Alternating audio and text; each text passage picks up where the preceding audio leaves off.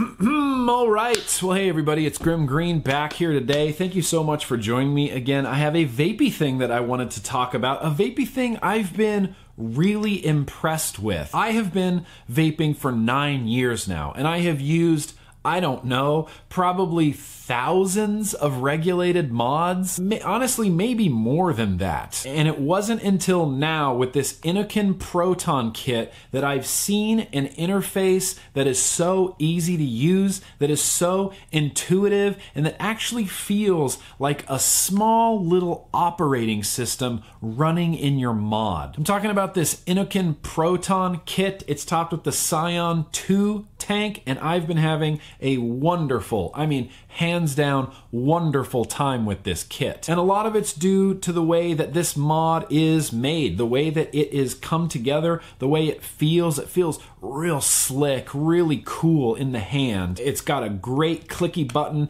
and it's got this little sort of joystick jog control down here. But in order to get to know all of this just a little bit better, what we're gonna do is go up close, as we always do. That's right. Quick short uppy closey time. What? Hmm, all right, we're out of focus. Good job. All right, well, we're here to look at the Innokin Proton kit, top to bottom. Got a Scion 2 tank on top, but we're going to take that off for now and take a look at this mod here. Overall, top to bottom, I think this is a real slick looking mod, man. It's real sleek, it's real minimal, it's real palmable. I can just put it in your hand and, and, it almost disappears. Not bad for a dual 18650 battery door on the bottom. It's very standard issue battery door, but it's also very clearly marked, not just here, but also way down in there. If you look, there's a big positive and a big negative. So you take your positive, put it against the positive. You take your negative, put it against the negative, snaps shut, real super easy, secure door. It's got these matching panels that kind of go up the side, and only one of them is the fire button. The one with this little symbol here, click it right there, and you get an insanely, insanely clicky, nice little fire button. It clicks hard, and it's fast and responsive and nice. Then there's your main screen. I love, I love this main screen. It tells me everything I need to know, and more importantly than that, I love the operating system or the interface that this particular mod uses. It's by far my favorite, you know, whatever call it, operating system, interface, menu system. It's easy to use and it's really easy to navigate and it's really easy to see everything that's going on. There's very little confusion. Plus, the screen just looks nice, looks real pretty behind there. But I have this set up in wattage mode right now, and the way that you navigate everything is with this little toggle right here. There's like this little joystick, and it's just wonderful to use. So right now I have it set in wattage mode. If I want to change my wattage, I'm just going to hold the stick down. And once that wattage starts flashing, you can push this down to go down. You can press this up to go up. You can also press it left and right as well to adjust your wattage. And what I really like is it adjusts in 0.5 watt increments. I like being able to go from, you know, 60 to 70 watts with just two little toggles on this rather than like 10 button presses. Just makes it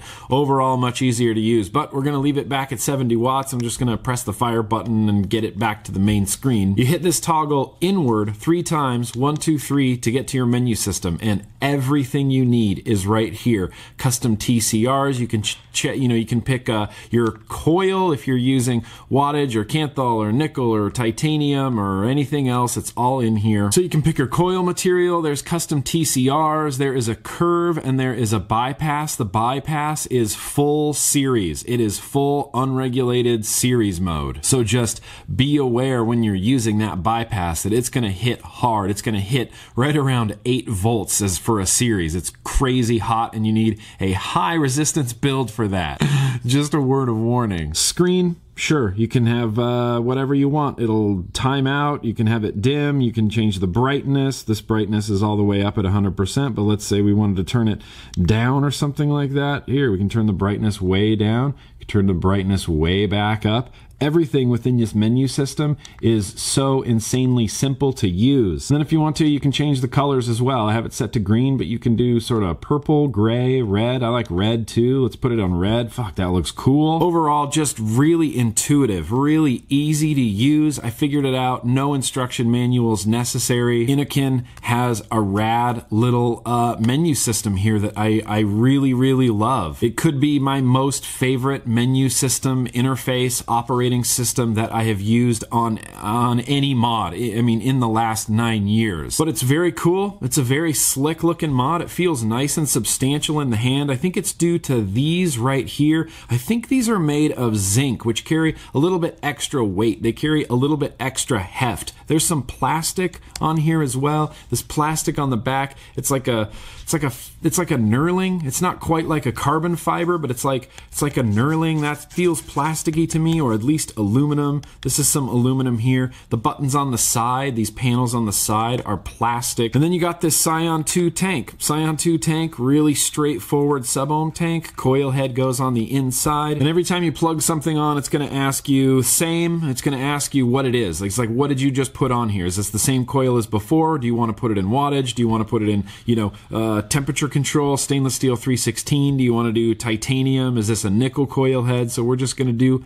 the same because this is the same coil as I was using before. Now the Scion 2 tank, it's a fairly solid, very straightforward sub-ohm tank. Coil head goes into the bottom. You have to prime it up with some juice and you can fill it up by sliding the top open right here. Fill up your juice right there, boop, close it, super easy to fill. The Scion tank, as good as a vape as it gives me, I do get a little bit of leaking, a little bit of juice kind of around this top part right here, especially when you're sliding these back and forth to fill it. When you slide it back and forth, you might get a little juice on the outside, maybe just a few little droplets here and there that I see. It's not a huge deal. It's a little bit annoying. I find myself wiping this tank off quite a bit. But yeah, that's the Innokin Proton, top to bottom. So what we're gonna do right now is we're gonna get back out to normal view. We're gonna vape this thing.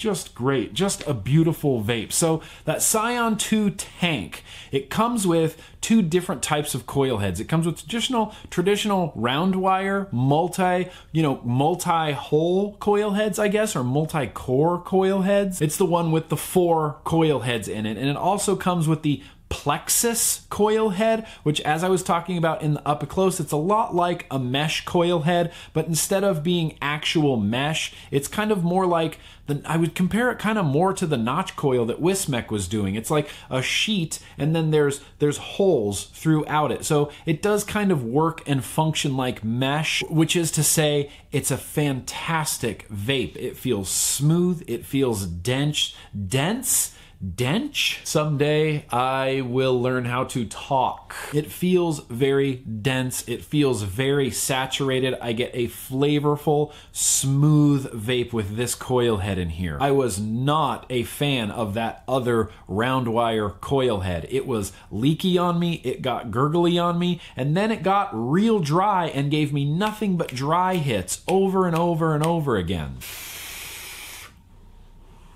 but this one just works like a champion. I don't love the design and fit and finish of the Scion tank in general. I feel like it could really be tightened up quite a bit. This top slidey part is a little bit loose and it gets a little bit juicy and gooey sometimes. I see juice kind of on the outside of my tank and around the top. Every time I slide that around, it just kind of pushes the juice around, makes it a little bit messy overall. I do like the adjustable airflow. I've been rocking it just full open, especially with that mesh, or not mesh coil head, what's it called? The plexus coil head in there, especially with that plexus coil head in there. I've just been rocking it full open all the time and it's wonderful. It's airy but not too airy. It's a little bit restricted. It just feels overall quite enjoyable. And this mod, man, I have been having a little bit of a love affair with this mod. Once you get it in your hand and once you hold it,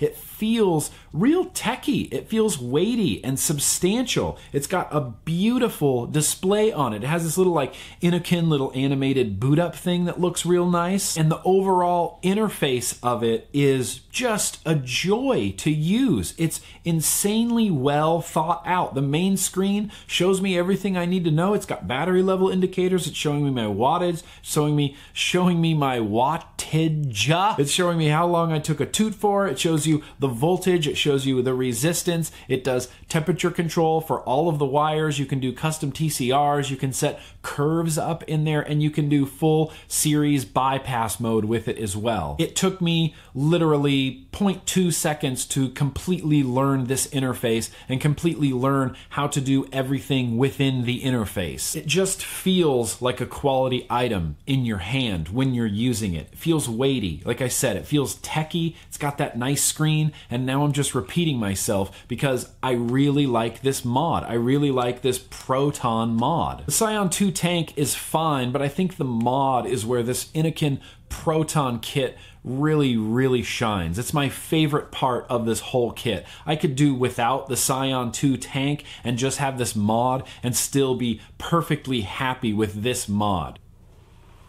The button's clicky, the button is responsive, it fires instantly right away. It feels like a fairly high performance mod. Okay, I'm gonna go ahead and wrap this up. Are you going to need your vape budget hands for this Innokin Proton kit? Yeah, maybe a little bit. Clicking around the internet, I found it anywhere from 60 to $70. So a little bit of vape budget hands are necessary, I think. It's a little on the pricey side, but not completely unreasonable. Now, if we were going to play the Aliens game or the FDA game where they come and take everything I have, I have nothing left to vape, is the Innokin Proton kit something I would seek out and buy? I really love this mod, but I don't really love this tank. If I could get the Proton Innokin Proton mod separately for maybe a little bit cheaper, it's definitely something I would consider buying. I truly and honestly believe that Innokin has created right now the best interface that I've used in a mod. After using